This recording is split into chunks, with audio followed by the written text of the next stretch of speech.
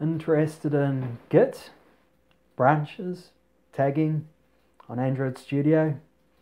Well, welcome, come on in.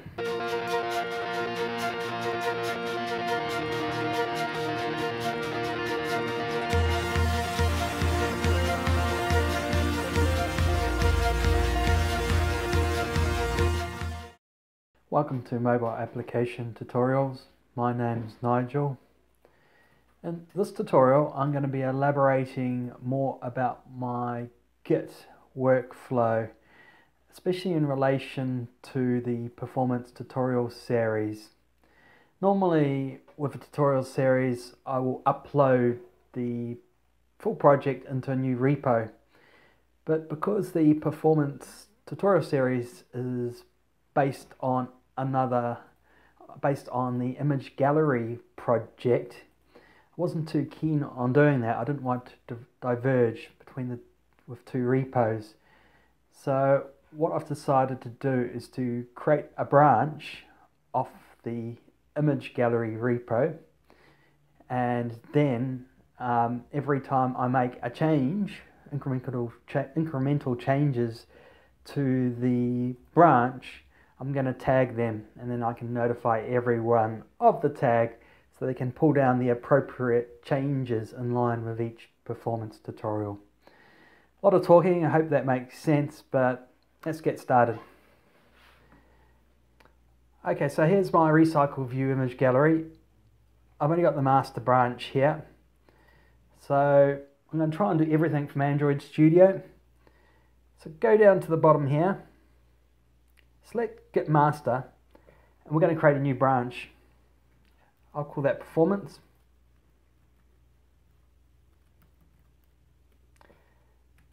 Select OK. And if you look back down here, you can see the branch has been created and it's moved me onto that branch now. So my Git environment is now ready for me to start making changes on the Git environment. So I'm now going to move across to the next tutorial where I do the first section of implementing the performance optimization changes. Once I've completed that, I'll pop back to this tutorial and show you the other parts of my Git workflow. Anyway, um, should be back very quickly uh, on the uh, internet. These things tend to not take too long for you.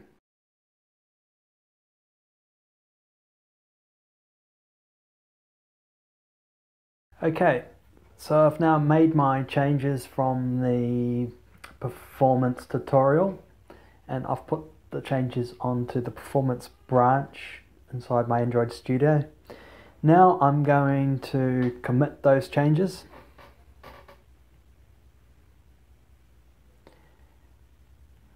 So,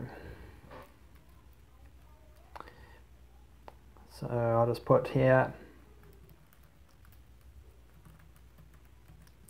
from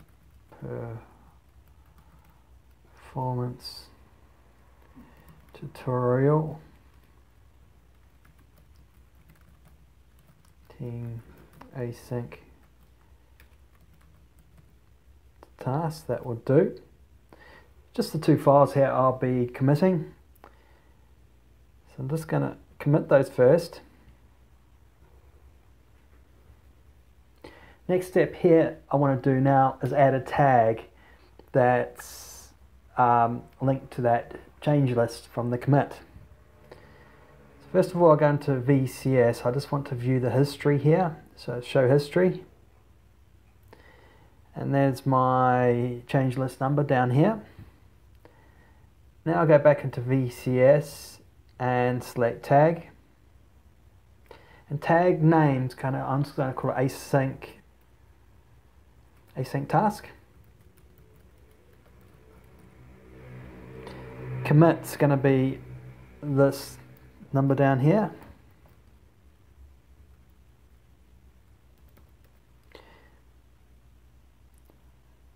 And the message here. Creating tag for um, async task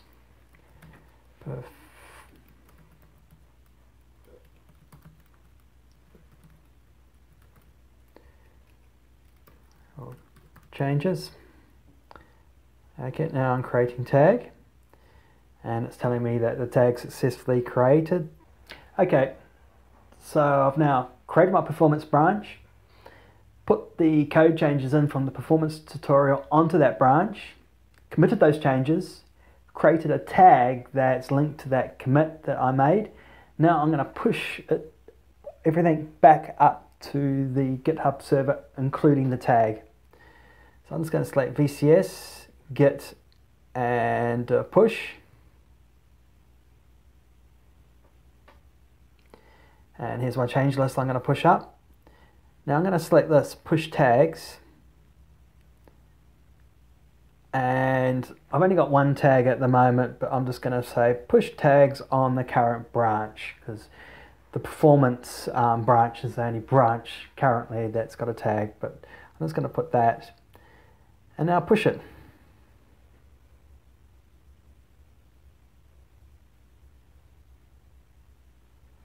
So that's been pushed up. So let's have a look on the server and see if I can see the tag and see the performance branch that I created. So let me refresh this. This is the home of the RecyclerView image gallery here. Okay, as you can see here now, we've got the performance branch and there's also a tags and tags async task. Okay, so okay, so now we've got an easy method.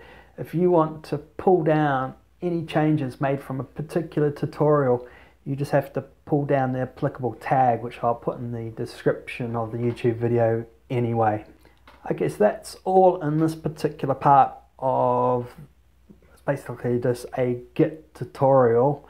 Um, I think the workflow here could be relatively realistic for a number of people putting their performance changes onto a separate branch, testing the performance changes, and probably tag, maybe even tagging them with any applicable changes just to keep track of changes that fix things or maybe not. So tagging is a good way of recognizing which change lists are quite important.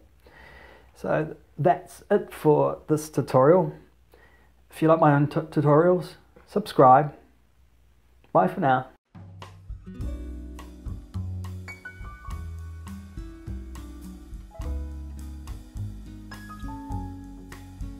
Oh, into the image view. Okay.